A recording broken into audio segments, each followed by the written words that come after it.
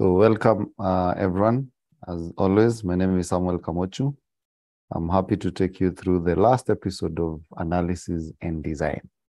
So I'm very, very happy that you guys have taken the time to come and join us. Uh, and I hope that this session will be helpful to you guys. So allow me to share my screen so that I take you through a few things that we need to know. Yeah, so the this week we are supposed to dive into uh, starting tomorrow in the actual project implementation, the hackathon, where you'll work on a real world problem. And I think some of you uh, are aware that we actually modeling a real world problem with a platform that you're creating for bakers. Started with a name Julisha. After the third episode, we started thinking of changing it to baked. And I'll share more more about uh, the product. So one of the key things that I want to repeat and and and and just highlight is that uh, you learned how to develop stuff and you learned how to deploy. Those are skills that are very critical, but they'll be very helpful if you apply them in the right way. And this is the focus for this week and the focus for the hackathon. So the key idea is that we started with identifying a person who is suffering. And in our case, we have the baker and home bakers. Uh, most of the home bakers, they treat it as a side hustle. You had one of the ladies who came last time telling us about uh, it's not a full-time job. So they have another job, but they have this one to supplement uh, their income.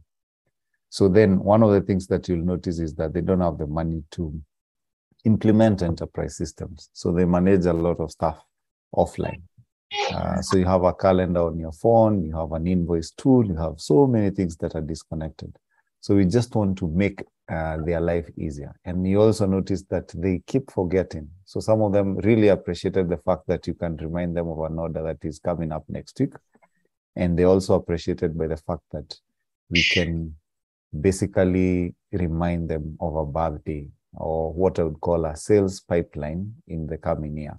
So in case they serve you this year with a birthday cake, then next year we can be part of that journey of uh, defining the sales pipeline for them. And maybe if you don't mind, Thomas, you could uh, mute and welcome uh, to this session.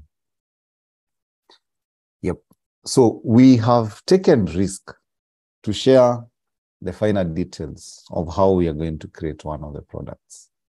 And uh, we were having a conversation earlier, and you're saying there is the risk of showing you everything about creating a product that can be actually be used, uh, but there is also the benefit of showing you. So today, M-Pesa code is not open. The designs are not open. If they open them, there are risks.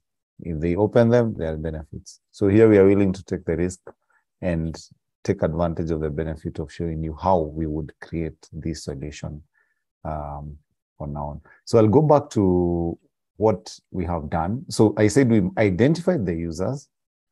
Uh, once we identify the user of the system or the people who have the problem, you remember we had an interview with them.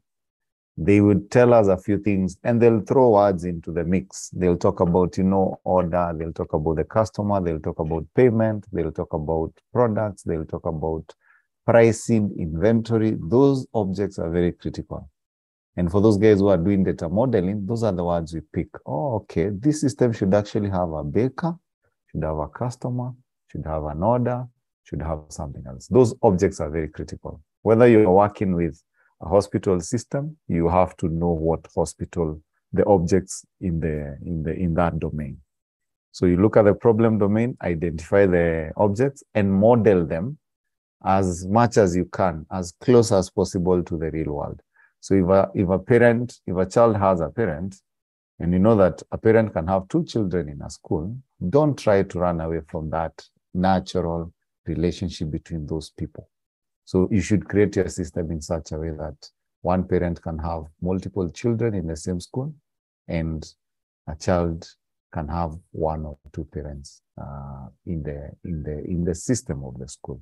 So don't tell us that, you know, you have to create another parent if it's another child and you create a record of the same guy just because your system didn't uh, align itself with the domain or the problem domain.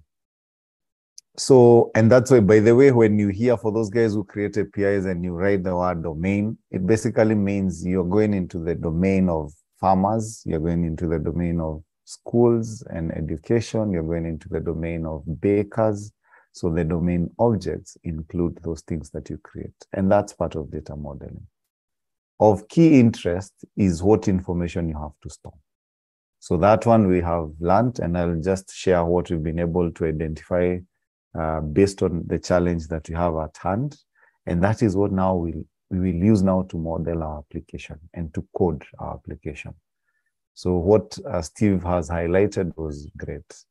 Then the other thing that we need to figure out is the experience. I think last, last time we talked about the experience of the system. And here we are talking about when you log in, what do you see? How does the login page look like? How is the experience of signing up? Is a mobile number so critical in this conversation such that notifications, if you capture the number wrongly, then that number, you'll never receive the notifications. So for the bakers, the experience could be you enter the mobile number, but you verify it using an OTP. That's, that's probably an experience question. So you have to ask yourself, what experience do you want to create? And we took you guys through that. The other key thing that allows us now to move to coding is the process modeling.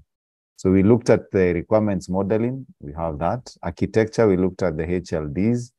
LLDs are the inner workings of each of the service. So low level designs. Now the HLD says that our service will be made up of a portal, a web app, connecting to an API. The API connects to a DB, and then you continue and you decompose your project as we had agreed.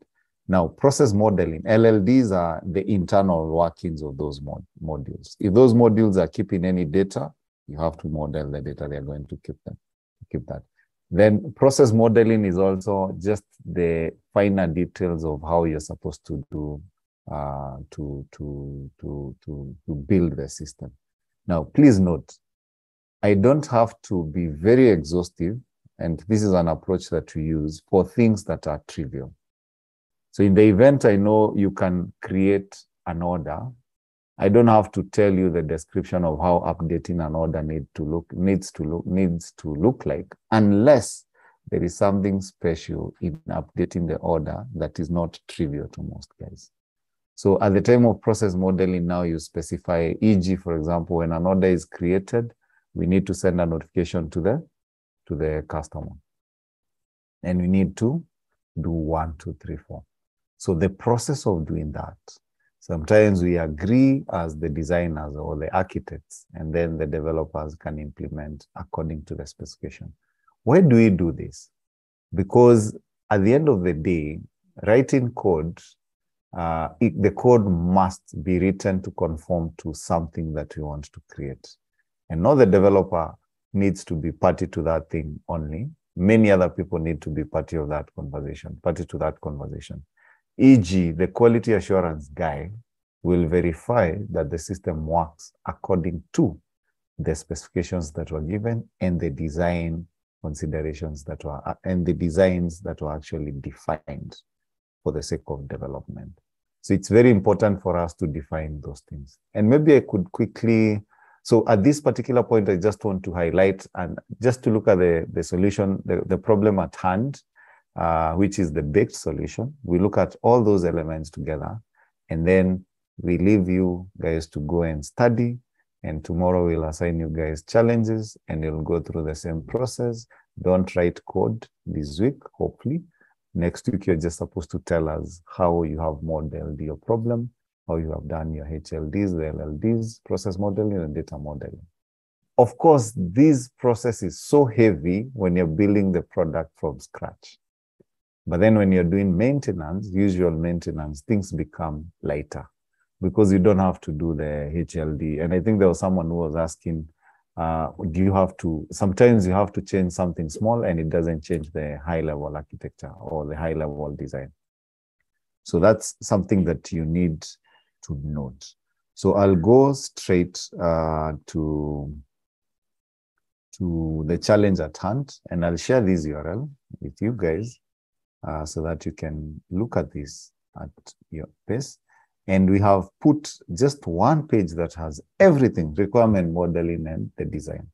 So one of the key things we said is that we want to create a platform for the bakers, home bakers, to ensure that their business operations are smooth and the smoothness of the operations will facilitate their growth. And this project is being executed as part of this. So if you are asked by someone, what are we trying to solve or what areas are we going to, to look at? We'll deal with customer engagements, with generation of orders, notifications at the various stages of customer and order management lifecycle when you create an order and all those things. Then we'll also look at customer experience measurement. I think we talked about a capability where if an order is delivered and Thomas had ordered for a cake, at the end of that order, we could send a survey to uh, Thomas to actually give feedback. And that survey could be uh, online. It doesn't have to be SMS based survey, just a link and you come and give your feedback. Now, customer value management, we want these bakers not to miss out on any opportunities. So we, we are going to look at ways in which, and in this release, you might not see all these capabilities at play, but we want at, at, at the heart of what you're creating is we want the bakers not to miss out on any repeat business or any new opportunities. So business operations, we want them to have efficient business operations. So when we talked about the solution design, you remember guys, we talked about you have to consider the platform you're creating and the external actors and systems that fall within the ecosystem. So you have a baker, customer, admin, and maybe I can increase the font a bit just to ensure that you guys can see those on. And then we have the payment gateway because one day we will connect to the payment uh, service providers to ensure that we can collect money or we can initiate online checkout. Then you have SMS gateway because the notifications are a core part of the solution and the email server because notifications still are very important. And then the authentication servers like Google, because we don't want people to enter all their details and set their passwords and credentials on our platform. So we have talked about that. So then we said the actors are these guys and the interfacing systems are these. So if you're working on a problem that will be assigned, you have to identify whether that solution works in isolation or it has to interface with other uh, systems. So because our system needed to send emails, we needed to have an email server. SMS, same case. If you're dealing with uh, a system as, as complex as uh, maybe a mobile money platform, you have to consider how you'll integrate to the bank systems and all that. Now, functions here, we are talking about baker management, customer management, order management, payment, and authentication authorization. This is what you're going to create in the week. Hopefully in the week, we'll have made some good progress and we're going to get some of you to help us in the implementation. Now, user and characteristics, I'm not going to repeat, but uh, this is something that we had uh, uh, tackled. And then, of course, these considerations that we have here.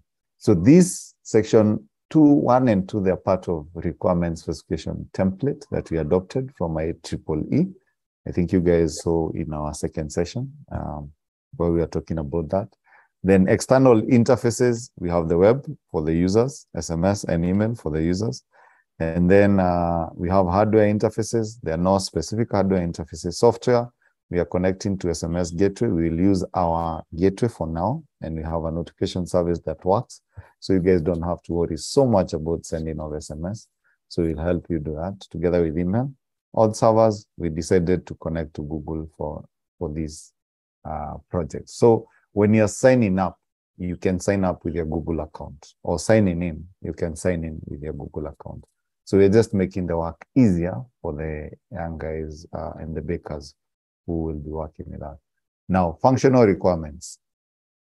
So here, this is where we come and break down the various requirements as, as far the, the various requirements that we have within the system. So you'll come and break down, and it's very important that you break them down into a granular format that can be worked on by a guy one at a time. So in authentication, we'll have the sign up page, the sign up using Google, sign up using the key, the local details, you enter your details, sign in using the local credentials, and sign in using the Google. of course, if you're signing in using your email address and all those details, you have to set or activate the password or set the password. So that's part of the customer journey that we expect you guys to create within your systems. Then authorization will have two roles, admin role and baker role. And uh, the customer does not need to log into the system. So they'll not have any authority over the system. So authentication is knowing you are who you are or identifying that this is actually Alvin. Authorization is identifying this is Alvin, but Alvin is allowed to be an admin within the system, or Alvin is allowed to be a baker within the system. Now, baker management will have sign up baker, as we mentioned above there, and all these details are here. You can suspend a baker if they disappoint you, because this platform at some point we want to commercialize it. So if they don't pay, they can be suspended. Or if they, they become fraudulent, they can be suspended. And you can close a baker if you want to finish uh, interacting with them. You can set the pay, baker payment details, profile logo, notification settings, and notification templates. So these are things that you need to know. In terms of customer management, you can create a customer suspend, activate, or unsuspend. Close again if you don't want to deal with that customer again. And then you can also update customer details and you can view the customer. So those are functions that the system should provide a way to do. Um, then order management, you can create an order, you can update an order without changing the amount. Uh, because if you want to change, you can update an order without changing the paid amount, sorry. You can confirm an order, you can cancel an order, you can mark an order as delivered, you can delete an order, or you can view an order. These are things a baker can do. And finally, when they want to record payments against an order, they can record a payment. And if you overpay, you can do negative adjustment and correct and give a narration and say, I recorded a thousand, ten thousand instead of a thousand. The guy said had paid a thousand. So you do an adjustment of negative 9,000. And then you have view payment, you'll be able to view that. Now, there are other features that will come in the future that I don't want to focus on, but sometimes it's always good to look at the features that come in the future so that you can design your system with some of these things in mind. But for now, we are not focusing on the future features. You'll be able to look at that. So you also have non-functional requirements which are provided, like data archival and deletion of data. If a customer is closed, you need to get off, get the customer off the system, and there are orders that they had created. You also remove them nicely. So you have to generate logs to ensure you can measure the experience on the web app. So some of these things will look at them and see how we can achieve them. And then orders and payment numbers, we are not going to use ID auto increment. So the system should generate an order number because if you know an order one, you can always try to call order two on the API. And luckily or unfortunately, you might be able to hit an order that exists. So you don't want to share details so that people, ah, this system has only processed five orders since they launched. So you don't want that information to be known by the people. So you have to create an algorithm to generate order numbers that probably do not tell so much about the system. Now, we did HLD. And if you have any questions, you have to come and ask. Uh, we did HLD, which we looked at. And some of you might come and tell us, we said we'll have a web app, which will be Angular, Spring Boot API, and then you have the payment service that will connect to the payment gateway, notification service that will connect to the two notification service providers, and the batch that will keep checking in the DB every day to see who needs to be reminded and schedule the reminders through the notification service. And then finally, you have the Google server, and the API service can invoke the Google server directly to actually log you in using Google. So some of you might argue, and some of you who have watched a lot of videos on microservices, you could decide one day to say that this thing doesn't comply to the microservice architecture. Yes, there is a lot of monolithic design in this, especially now that all APIs are in one project. And the reason for that is microservices, microservice architecture uh, is suited for organizations that have a lot of people and you want to have independence in those teams. But guess what? For our project, we don't have teams. We just have one team. So let them work on this and we'll consider performance and scaling considerations.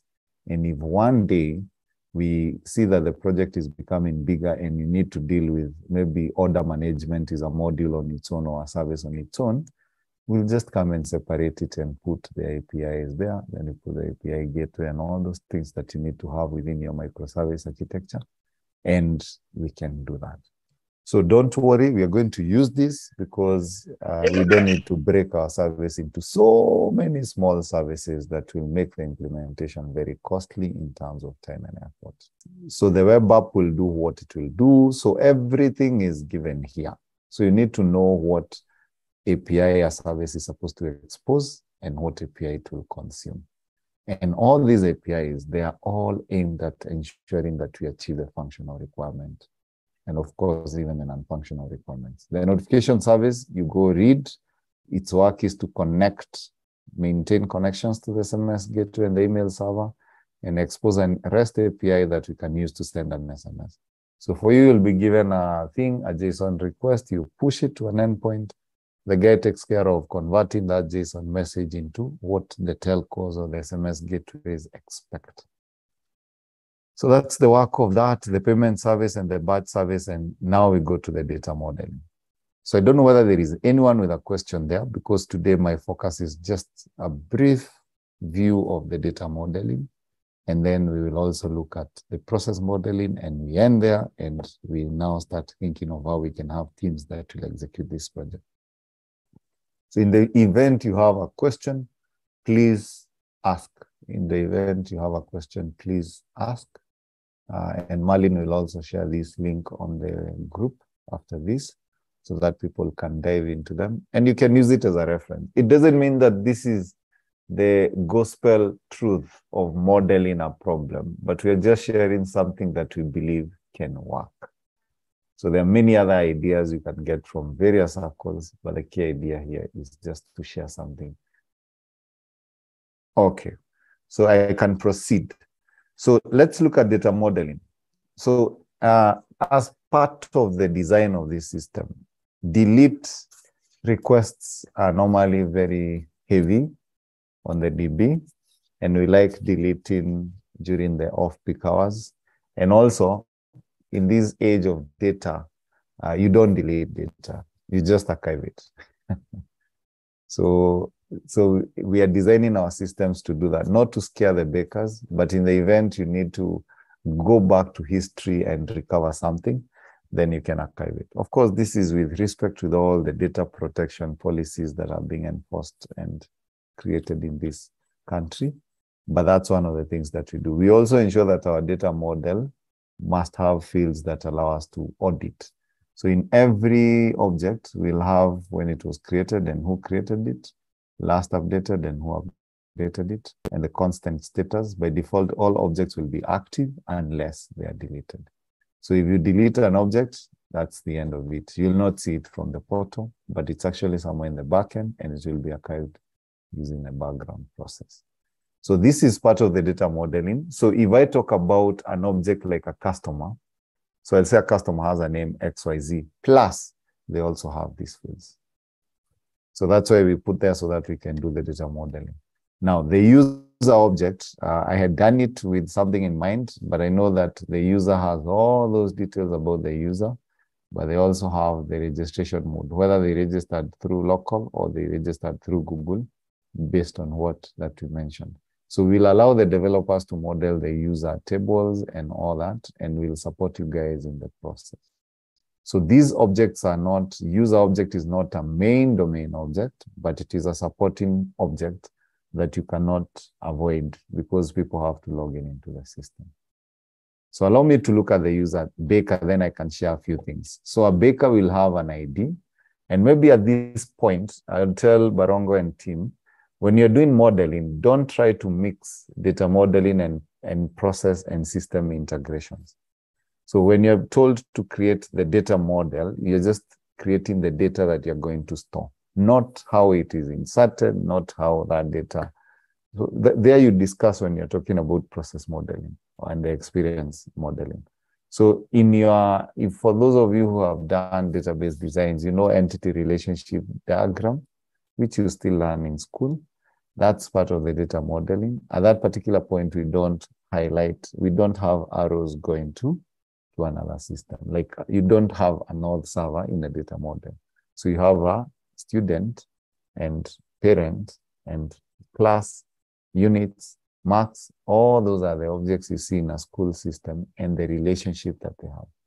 If a student can take three units, then the relationship between a student and units is, is one to many or many to one, depending on how you look at it.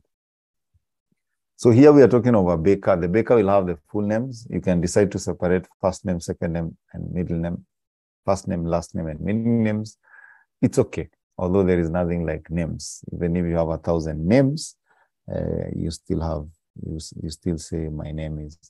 So, but sometimes in the model, you find us using names uh, wrongly, but uh, just to show that you're including many names. So we have the mobile number, which I call MSISDN because I come from the telco space. So we don't call them, we call it the MSISDN is the unique number.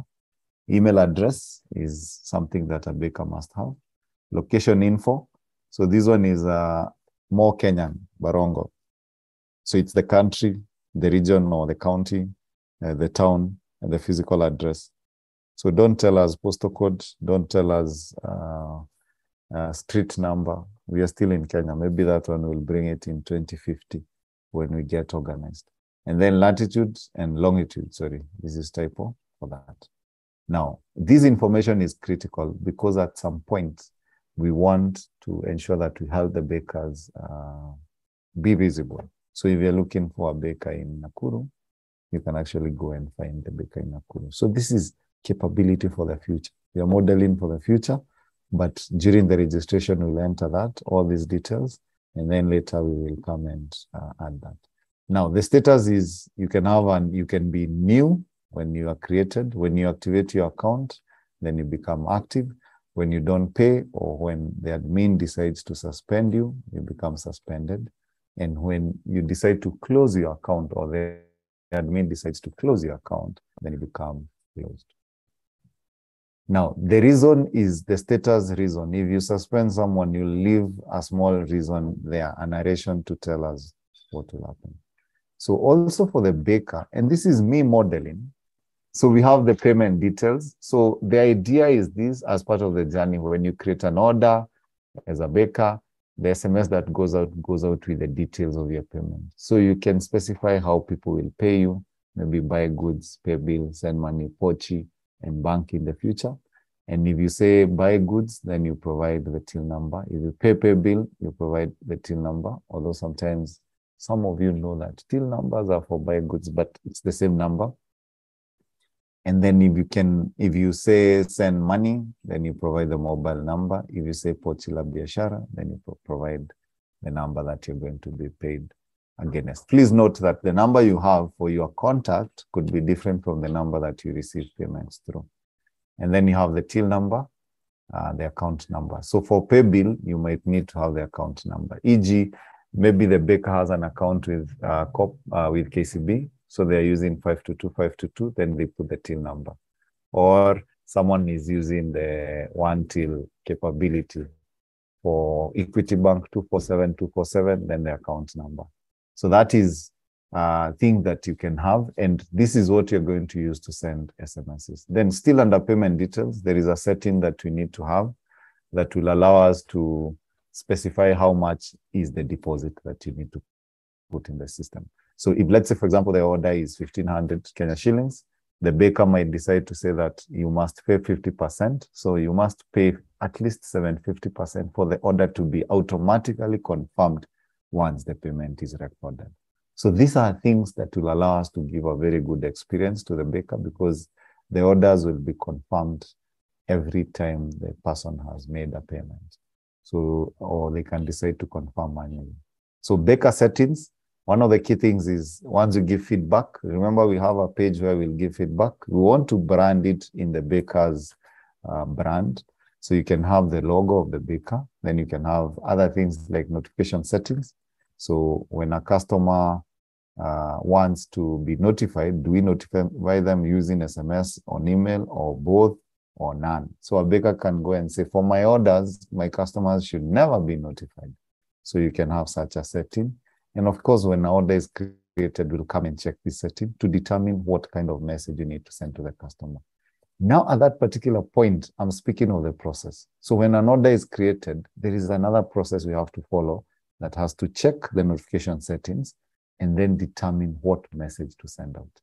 If you're sending an SMS, what's the display name? Maybe KCAD or baked. If it's email, then what's the name that you see on the email address? Because every email has a description. You can have the email, but you can have your name on as the display name. So then you have notification templates. So the message that goes out that tells you, thank you for the order. Uh, you can make a payment. The total amount is 1500 and you can make a payment of this, this, this, this, this. These templates are defined within the system so that one baker can change the message format accordingly. So that's the consideration that we had. And these templates can be the various stages of order. When a new order is created, what message do we send? When a partial payment is made, what message do we send? Of course, the partial payment will have to send the details of the remaining balance, and then full payment, then cancel order, deliver order. All these things are things that we can, templates that we can define. So whoever is creating the database must have a way of setting these settings for the data. So I've not given how you're supposed to do this on the DB, but this gives you something that is important. As part of the design, especially when you have an order object, uh, a custom object, sorry, that has various statuses, then we need to be able to have the status, the state transition diagram, or sometimes called the, the state machine or finite state machine. So this is something that you have to have. And the key idea that you need to know is that when an order is new, it can be closed when an order is new, it can be taken to active. Uh, sorry, not an order. This is a customer. When a customer is registered, they get into new. Once they activate, they can get to, uh, uh, once they activate, they go to active. And when they're active, they can be suspended. And a suspended guy can be taken back to active. An active guy can go back to suspended. But then once an active guy is closed, that's the end of it. A suspended guy can also be closed, and that's the end of it. So this is something that we have to know that will allow us to define how the system works. It's still part of the design process. And I would allow people to just give, ask any question on the chat regarding this for about 60 seconds. Excuse me. Yes, yes.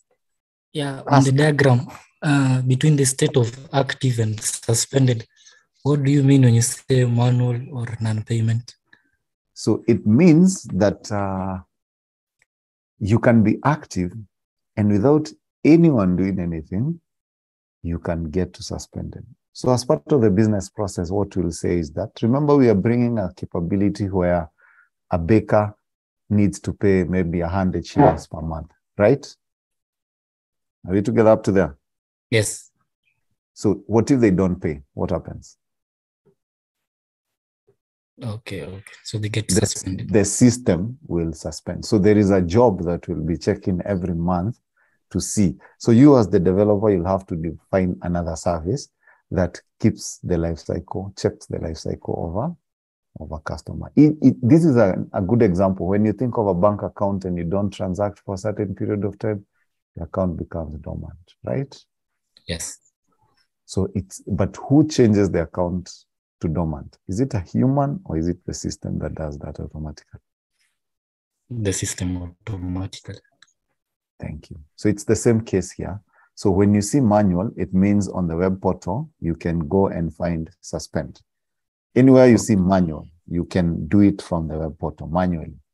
Anywhere you find maybe or something else, then it means that event of non-payment or that action of not paying can actually lead to your suspension. And anywhere you find suspended, if you make a payment, the system should unsuspend you automatically. Are you getting the point? Yes, yes, thank you. Okay. So that's that's thank you very much. Uh, I'm assuming that who was that? Omosembi, thank you for that. So this is a one way to to just model. Now let's look at the customer. So the customer will have maybe ID, and this is very opinionated because we are thinking in relational databases. I know some of you might be thinking of NoSQL and all that. So we just just bear with us, but you can still do the same modeling without uh, thinking of uh, the type of database that you're going to use. So a customer would have a name. Uh, you can decide to do first name, middle name, or, or surname. Then you have the type, individual and corporate. Who are we modeling with this in mind? Because sometimes, and I know we've talked to some bakers and they have told us that sometimes they have an engagement with a company. Like Cakeyard, the example, the, the, the, the typical baker that you're using, for example, has a relationship with Meliora. They supply all our birthday cakes to all our staff members.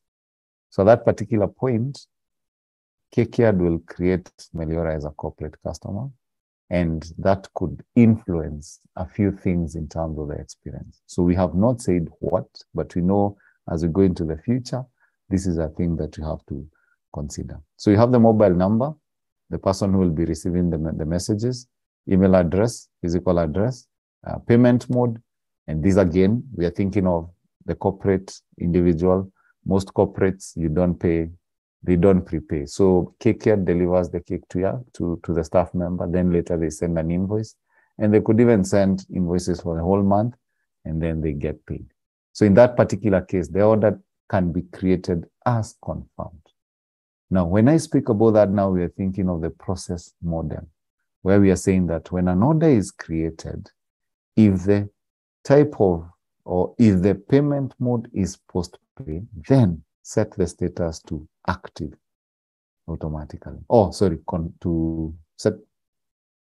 Sorry, what did I say? Yeah, sorry. This is the order processing flow. So when you're creating an order for this customer, the order can be created either in a new state, and let me just jump a bit here, in new state or in confirmed state, it, depending on the payment mode. If the payment mode is post-pay, then you don't have to wait for confirmation. So you create the order and you mark it as confirmed. But if it's prepay, the order is created in new state until the deposit is paid and the order moves into uh, basically post-pay. Uh, the order moved to confirmed state. Then again, for the customer, please note, this is a field that is very critical in order management. And this is a field that is also very critical in order management. So the status, uh, if you have any question, you can ask. So you can suspend a customer, you can suspend, uh, you can close a customer in case you don't want to interact with them in future.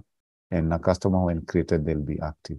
So when I say manual, it means that a customer, the system will never ever change the status of the customer. That's what this diagram means, that the life cycle of a customer is when you create them, they are active unless you close them unless you suspend them. And this work is done by the baker because the baker is the one who created the customer.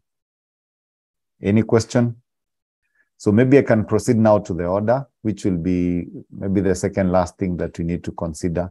So you have the order number, the name, uh, of the order. So if it's the customer who created the order, uh, you just have to attach, assign that order to the customer. I think there is a foreign key here and also the baker ID for performance reasons. Those guys who do databases, I'm sure you are warned against. Uh, uh, if you have a customer ID, the customer ID is attached. The customer is attached to a baker. So within the customer, you can resolve the baker ID.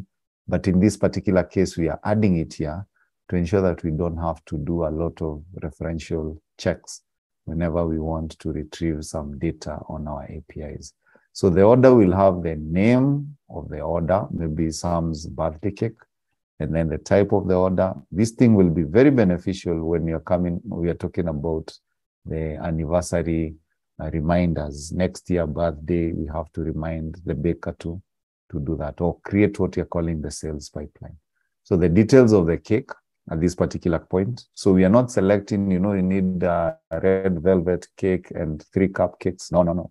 All those details will be put together in one uh, uh, field, which is details. And then later, as we go into the future, we will add now things like products, as you have noted in the roadmap. So you have notes, special notes to be displayed uh, in case that order has a special note that the baker should not forget. E.g., this guy does not do milk.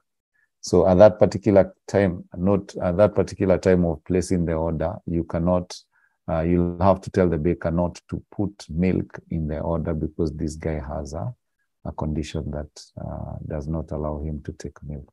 Then the order amount is what you ordered, and then the amount paid is the cumulative amount that has been paid. The order amount, amount is set by the user, while the amount paid is set by the payment process. So anytime you say pay, then we come and update this figure. Anytime you say negative adjustment, then we come and update this figure.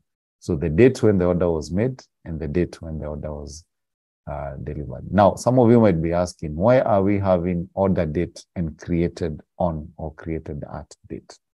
It's because when we launch the system, because of the capabilities we have, some, some of these guys might want to backdate and enter data that is historical for the sake of reminders going forward. So it's important for us to allow the user to be able to set the order date in the event they create an order uh, that was meant to be processed in the past and mark it as delivered. Uh, so they can do that historical data. So we'll use those fields for that. Then delivery date and deliver that. Then, of course, you have the status for the order. This is the main object of the system because the bakers are trying to manage orders on our platform. So we have the confirmed, cancelled, delivered, and deleted, and the reason for the status. So if you cancel, then you have to give maybe a reason for the baker to remember, ah, okay, this guy canceled the order because of this reason. Then you have the delivery address, which could be different from the delivery address or the physical address of the customer, e.g. for corporate customers. So it's good that you borrow from the customer, but in case of corporates, you might have a staff member who is in Nakuru, and of course the company is in Nairobi. So at that particular point, you might need to have a field that indicates where will the cake be delivered. Then the other thing is attachments.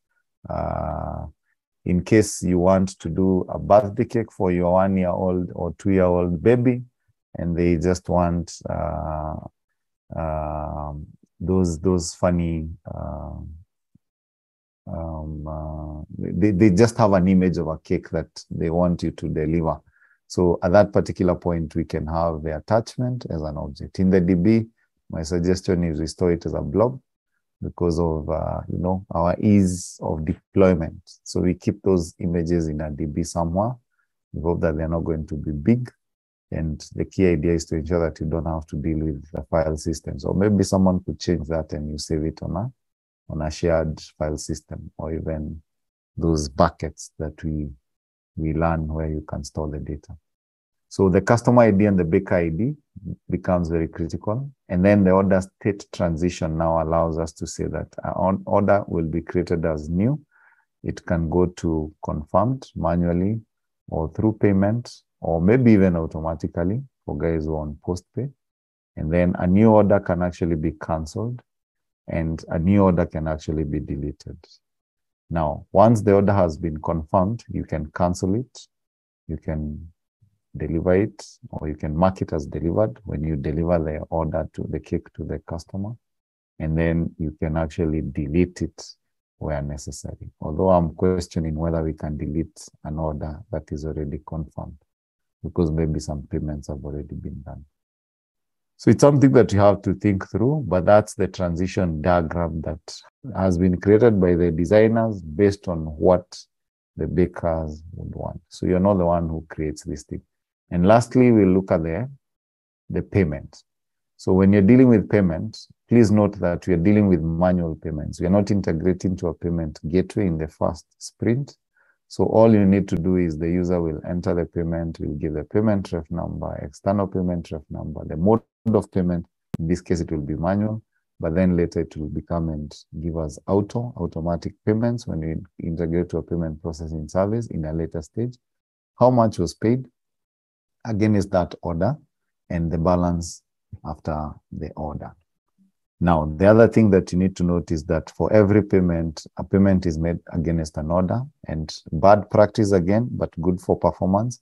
We will also have to specify the customer ID and the baker ID to help us retrieve payments based on, on an API. We filter by these things without having to hit other tables. So it will be a foreign key referencing the baker.id and pay that when the payment was actually recorded on the system. So that's it. Ah, finally, I thought payment was the last one. Actually, we have the last one, 7.5. Uh, this is an error, and this is basically the notification. So we will store the notifications on the system because part of the commercial engagement that we want to have with the baker is to ensure that they pay for the messages that go out.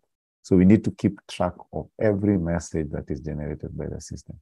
So the notification can either be an SMS, email, subject applies to email, from to uh, content. Uh, it has to be a large field to accommodate email content. At this particular point, we are not doing attachments. That will come and we'll change it later. Sent at, the send status, the send reason, and then deliver that, and then the delivery status, and how many units of messages were consumed. And this is applicable for SMS. And of course, if there is a cost, we have the cost. Then we say that SMS was against a certain baker ID, against a customer ID, and against a certain order, and against a certain payment. These things can be none. In the event the order is created, the order ID will be there, but the payment ID will be none. So that's what we define as part of the modeling. So I don't know whether there is anyone with a question, but essentially that's how we think in terms of the modeling of the systems, modeling of the systems. And I'm hoping that you guys can actually uh, think in those lines. So if you're dealing with a farmer's uh, platform, you have to think in terms of the farmer, the whatever they are bringing, the produce or maybe something, and you have to think of the fields that will help you achieve the journey and the experience that you want. So I don't know whether there is anyone with a question so far. Um, uh, I have this question. Yes, Uh, in, Bwana Amos. in this uh, in this particular system, who creates the customer? Who create the customer? Thank you so much. Yeah. The customer is created by the baker. Why did you ask that? Uh, because I thought maybe because it's an online system. Now, Mm. if I want a cake, I could go search the system and register myself and then look for the bakers who are there. And Thank you so one. much. Thank you so much, Amos, because it, it appears like both of us are on the same page.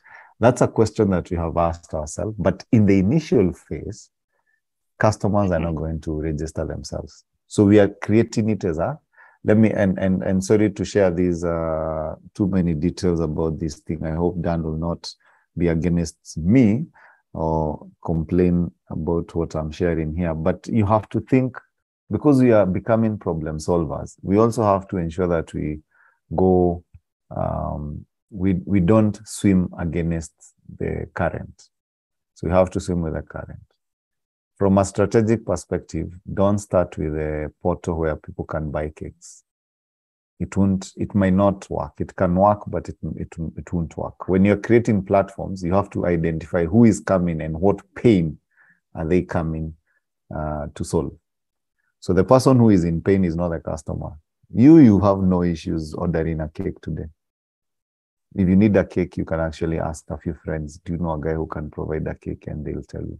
So your pain is not painful. it's, it's not a big pain. So we don't start with the customer. And you can go watch videos on how platforms are created. You have to bring a guy first who has a problem. In this case is our baker. And the baker comes on board and we give them a system to use for their day-to-day operations and efficiencies.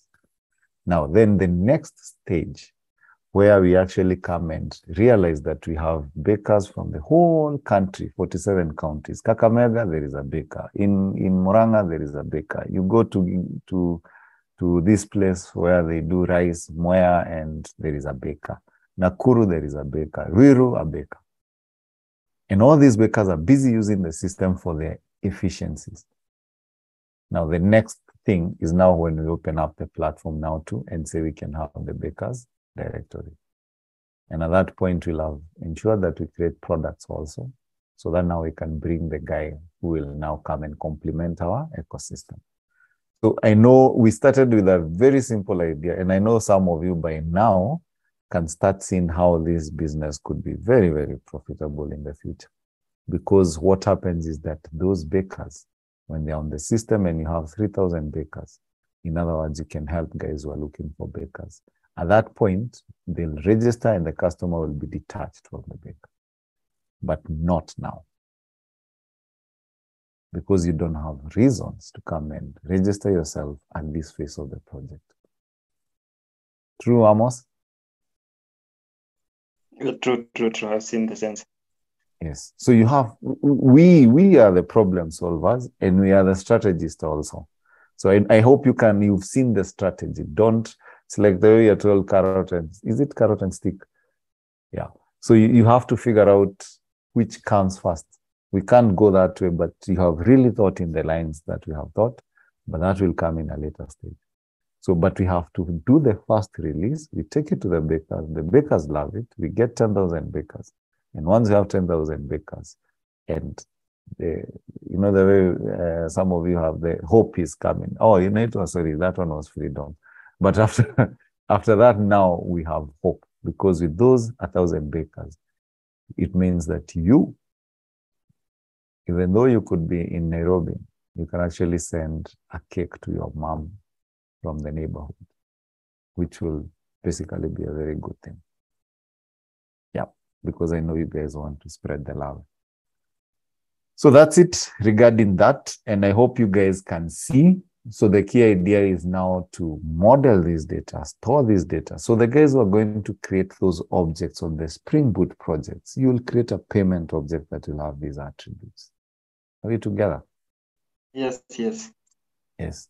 So so so we do not. And and now you guys can see once you define this, and it's a thought process. I know some of you I gave you the challenge, you didn't think like this. It takes a bit of experience, but we are doing it so that the next one that you'll do, whether it's your own idea, you'll do it in a nice way. And we can show you that within a very short time, you can actually create a product through collaboration. So if we split ourselves and ask Gionina to do the payment APIs, and we ask uh, Alvin to do the order APIs, and we ask someone like uh, to do something else. Then at the end of the day, we'll have a system that has been created by many people that is working towards uh, building a solution for real baker who we had and we met. Now that talks about the process, the, the data modeling. At least now we've spoken into the data modeling space. When you guys are in school, you study that you have to normalize your databases. Let me tell you one thing. For performance reasons, we have found ourselves denormalizing databases, especially putting data that is repeated into another table to avoid hitting another table when you're reading something. So that's those scenarios do happen, but at the end of the day, we will show, we will tell you where we feel you need to uh, disrespect at the risk of having another challenge. But at the end of the disrespect the rules of normalization at the risk of introducing another challenge, but gaining another benefit that could be bigger than the challenge that you might be introducing. It's a trade-off. Now, experience modeling, that one we already talked about. And we said that when bakers log in, this thing is supposed to be mobile friendly. So the baker, when the baker logs in, what would they want to do? They are either going there to place an order. That's what they'll do probably on a day-to-day basis, or to see an order that is pending, or to do to create a new customer and place a new order. So that's why we modeled our system to, let me just minimize a bit so that, because I know we had done this. This is the screens that we did, but I just enriched them a bit. If you're doing mobile friendly, you might have to hide a few of the fields. Maybe you'll have the order number, the name, and the due date, and then a button to view if you're doing on mobile. So the key thing is when they come in, they'll be searching for the customer and it will autocomplete. As we said last time, Steve Musembi and Steve Wakungu, the moment you type Steve, you start seeing the customers that are listed there through the API which we define. So I'm not going to repeat this because we talked about it. And this is what we are giving to the developers to implement. For a customer, if you search a customer and you see Steve, the drop down there, as you type, you can see names being suggested. The moment you select Steve Musembi, will be taken to this place. And instead of John Doe, we'll have Steve Musembi, the customer ID, and actions. Those actions here will be either suspend, close, or activate, depending on the status that is here. This is where now the state transition diagrams comes into play. If the customer is active, they can only be suspended or closed. If the customer status is suspended, then they can only be reactivated or unsuspended, or you can close based on the state diagram. So it's for the guys who are, you know, ng if those guys who are there with Wesley talking about Angular. If this condition is met, hide this. ng show if this condition is, ng hide if this condition. So in your HTML, you'll have all of them active, but you'll come and say for the tag that has close, you'll say ng hide or ng show or hide when the, the enemy is, is, is, is, is, is active. You hide activate if the customer is already active. You hide suspend if the customer is already suspended.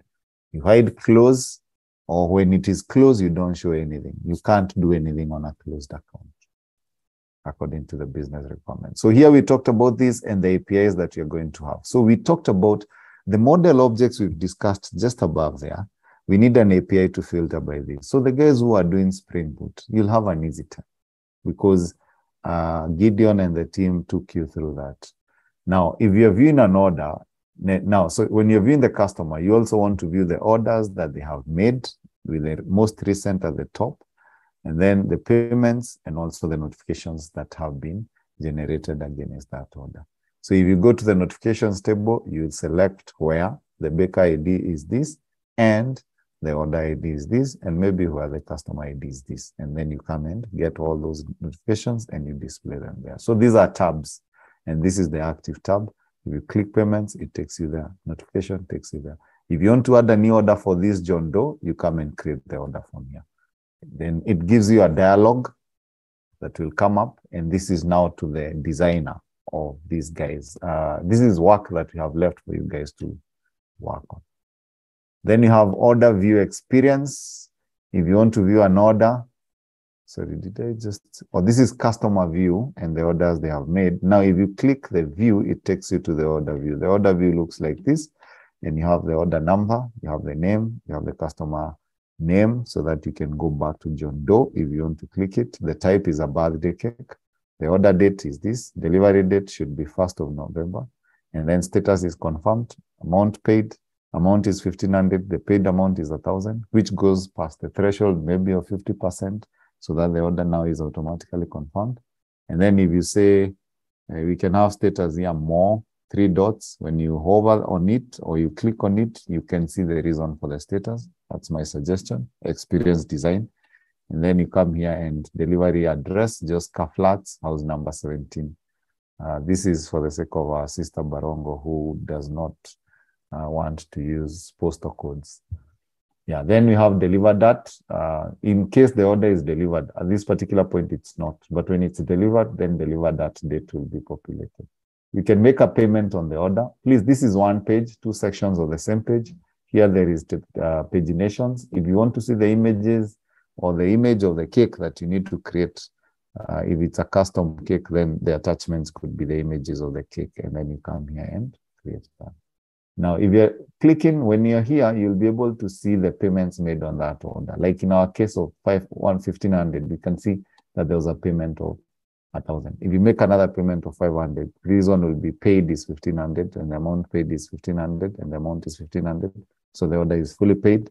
And at this particular point, we expect to see the two payments here with the most recent at the top. So the 1000 at the bottom and then the 500 at the top because it's the most recent.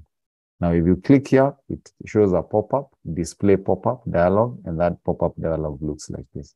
So it tells you that it was a manual payment of a thousand shillings, this, this, this, and then you close. So that's a dialog that you see on the user. And if you want to view all orders, because there is a place here where we said you can view all orders. Uh, when you come here to the homepage, view all the orders that are there, it takes you to this page. So the key idea here is not to focus on experience design because we discussed it in the last section. I just want now to briefly talk about the last part.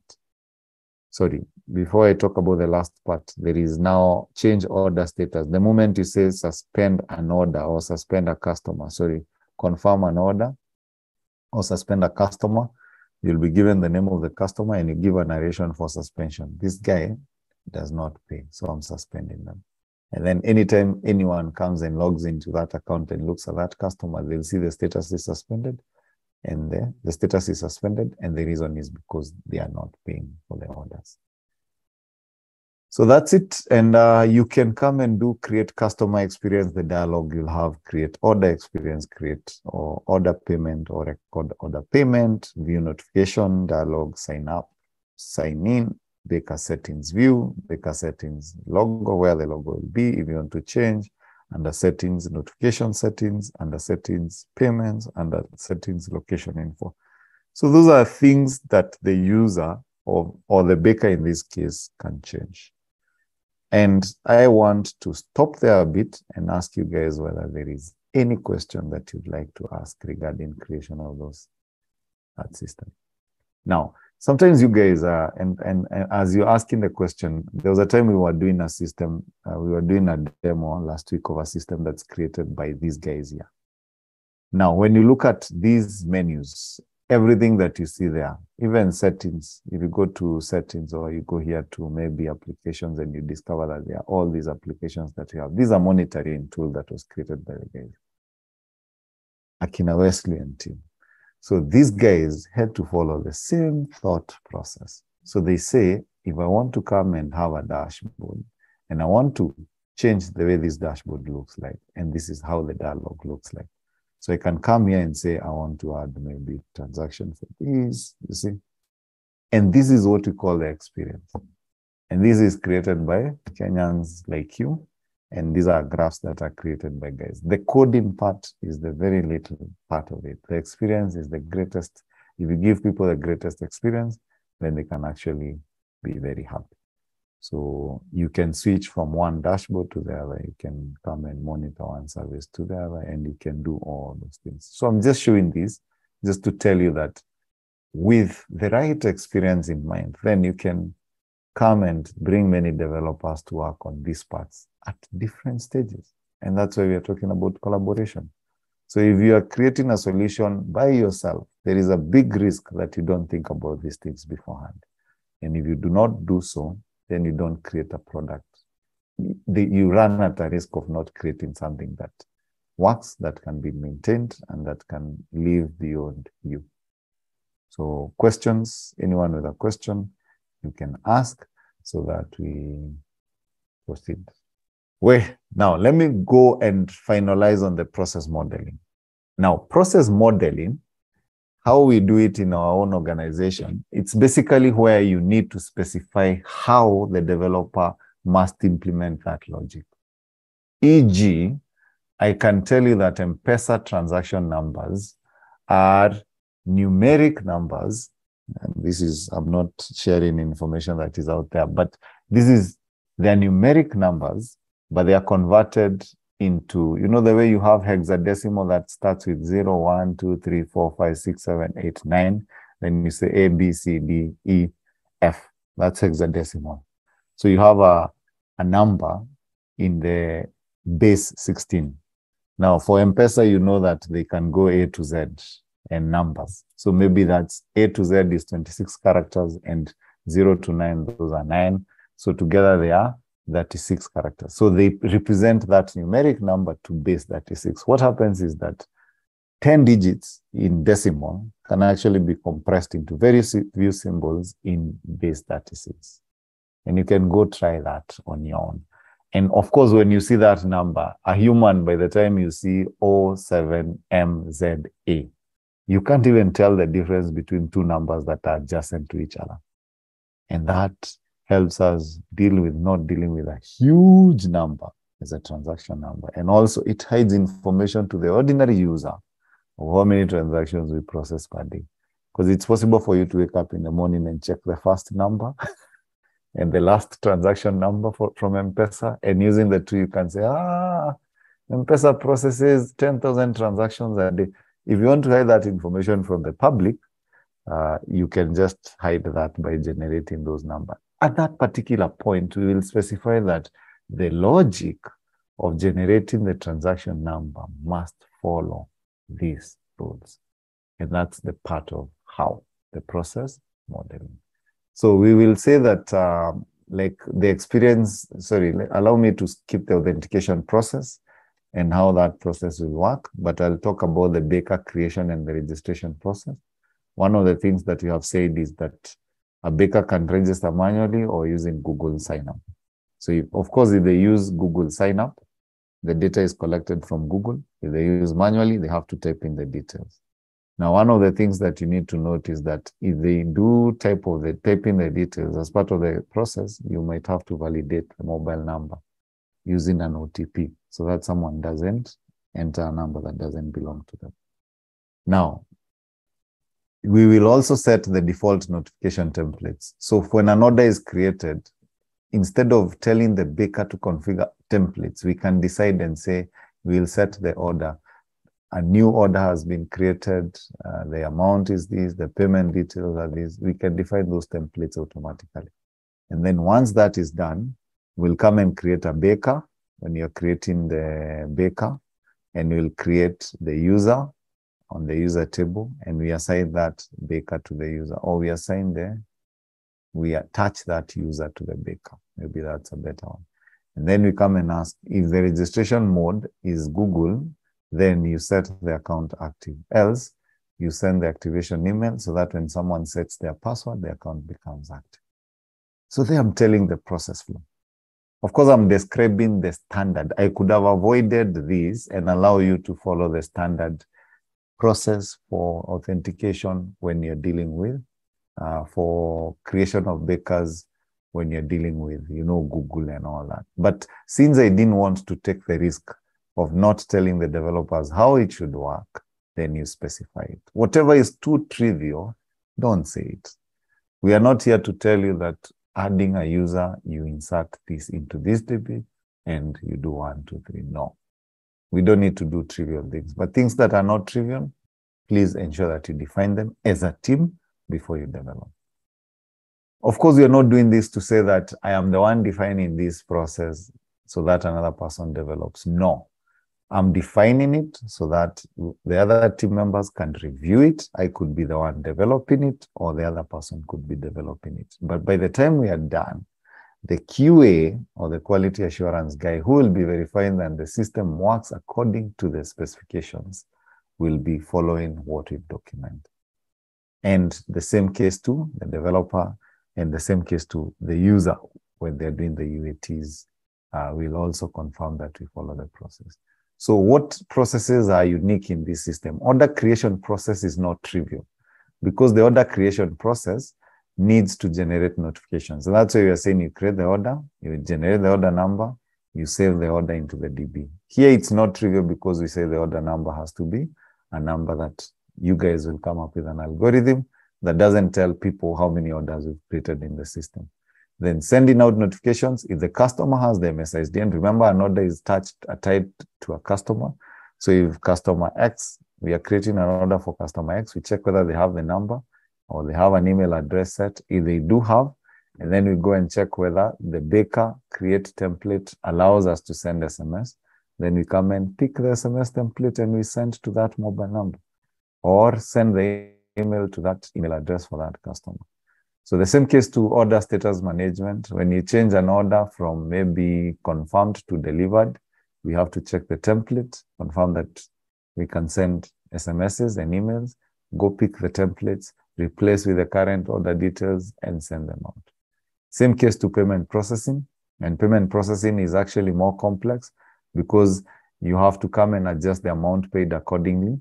We compute the amount paid is enough to, for order confirmation. We check whether the percentage deposit has been, uh, we have gone above that. If you've gone above that, then we change the order to be confirmed. If the order was 1500 and you paid 500 and the percentage deposit was 50%, so we still leave the order as not confirmed or active or new. Then once you come and make the second payment, the second payment maybe 600, you move to 1100. Ah, then we discover the order has gone past 50%. At that particular point, we are supposed to change the status to confirm. And that's why you're saying. If the total amount paid is higher than the deposit amount, then the order status is new. And the order status is new, then you change it to confirmed. If the order amount paid is the same as the order then you know that the order has been fully paid. Otherwise, the order is partially paid and you send notifications for partial payments with the amount that is pending included. If you fully pay, then you send the notifications for full payment without the pending amount included. Then, sorry, these ones, don't worry about it. This is misplaced. It's not supposed to be here, but that's that's essentially what you're supposed to do. Then the other thing is order reminder process, which I've not defined. The architects of this system will tell us how do you know who to remind and what record requires reminder. And that uh, responsibility requires us to define a process flow where we say every day there is a job that will be running on the system that will be scanning all the orders that are due two days from now and we inform the baker that those orders are due for two days from now. Maybe there is also another setting to run a scan of the orders that are not confirmed or that uh, sorry that are not uh, orders that are not uh, delivered or closed. And we scan through the system we check all those orders and we check the order that is supposed to be delivered today. Then in the morning early in the morning we send an email to the baker or an sms to the baker and tell them please remember that domi's cake is supposed to be delivered today at 10 a.m in utawala. So essentially that's how the process is supposed to work. Of course, we have not finished everything, but one of the things I wanted you guys to appreciate is the various elements that you need to think through as you define uh, and create your solution. Say the process is the most important thing. If you apply this, it works and it has worked for us. We've created products for other people, we've created products for ourselves, and they do work. And I believe that at the end of the next two weeks, this baked solution will actually be a product that will be working for some people.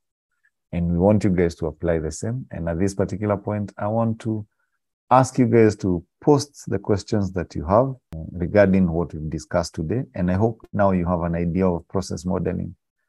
Process modeling tells the developers how to implement certain logics that we think are complex.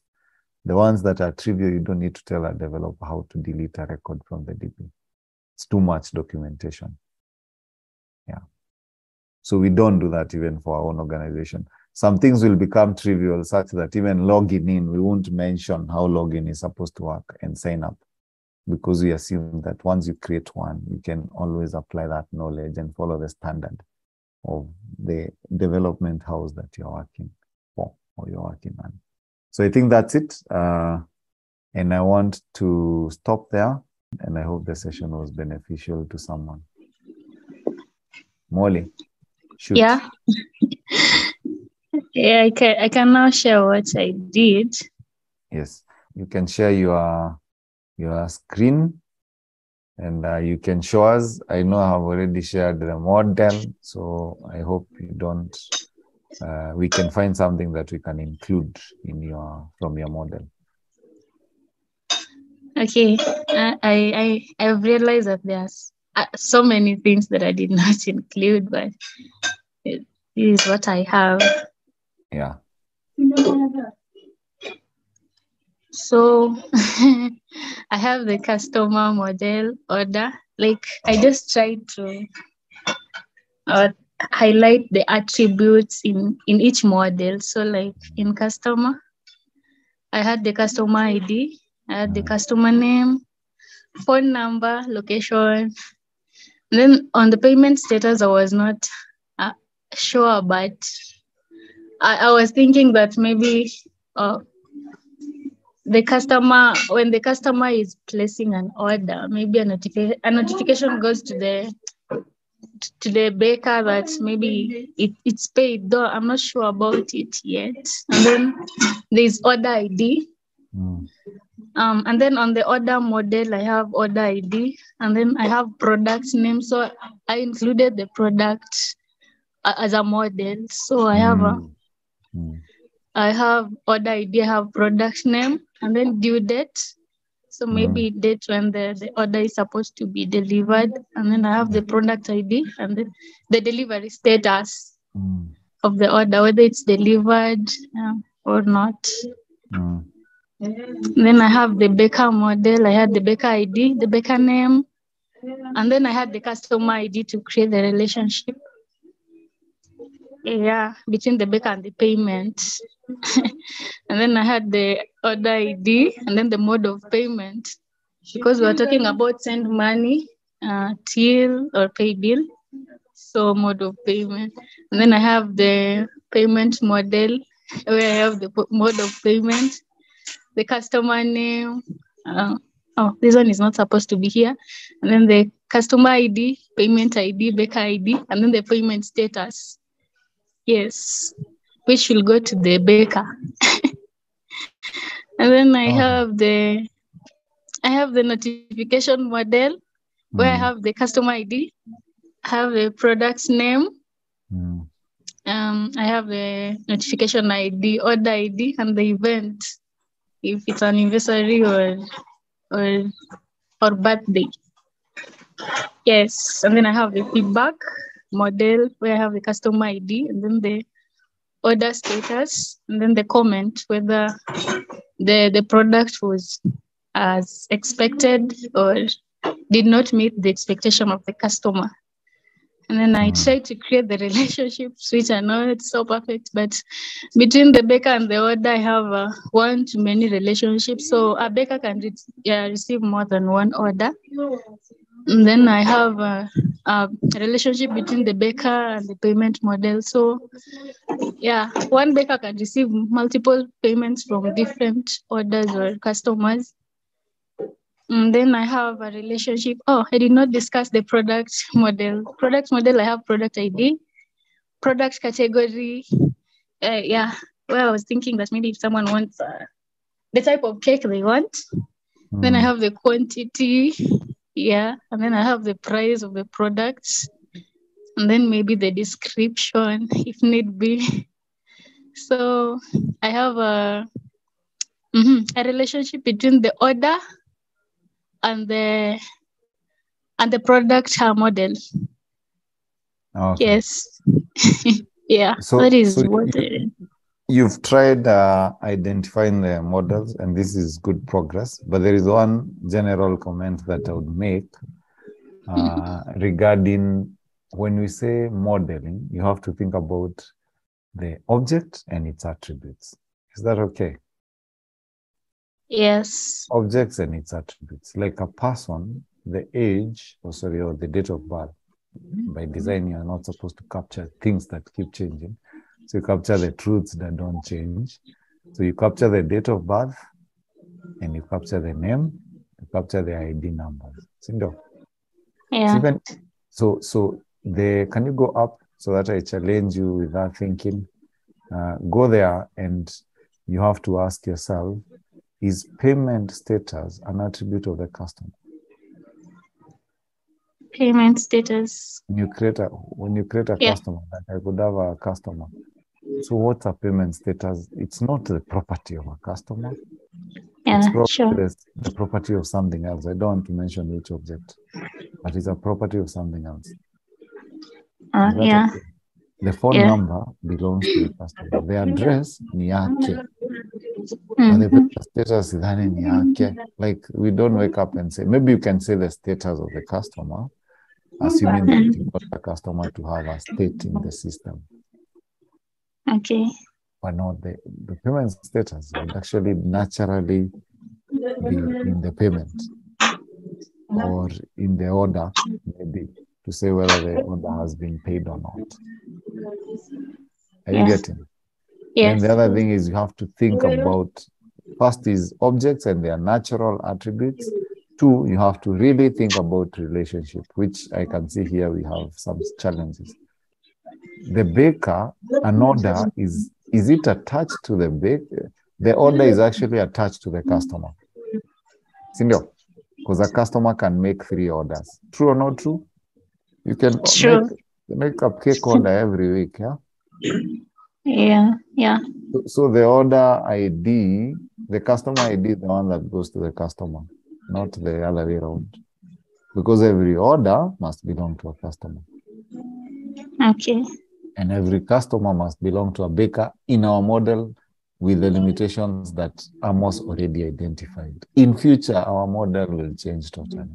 But you have to think of the natural relationships that a payment is pegged on an order. Unless you want people to pay for what? For honors. So a payment in this case is pegged on an order and maybe something that we have to look at. So for now, uh, I can see here we have we have to refine. You have to go through the modeling a bit for you to appreciate it further. But it's good progress. Identifying the object is one thing, but relationships are very critical. At, a class can have many students, so you don't move the student ID to the class object. Maybe this doesn't make sense to you now, but you need to get to a point where it makes sense that if you have a class has many students, it is natural to put the student to have the class they belong to, not to go and put the, not to go and add a field in the class saying the student, unless you're telling us a class is for one student. I might not be making a lot of sense, but you need to dig deeper in. Yeah, it, it, it's we need to d- dig deeper into those relationships. Designing and developing, we are not violating those things. Now, if you get this thing wrong, no matter how good you are in writing code, it won't work. Whether you understand aspect oriented programming, you are the multi threading guru, it won't work. That's why we are focusing on the pro, on the process. Because you follow the right process, create the great experiences for the products. People would love what you're creating. Yes, this is way beyond one hour. Um, so I do not want to continue talking uh, more, but thank you, uh, Molly, for sharing this. Uh, I'm hoping that as we continue, we'll get to to practice and practice more, uh, and one day you will you will look back and you'd say, you know what, uh, I can see the growth, and I can see myself transitioning from a student to a problem solver.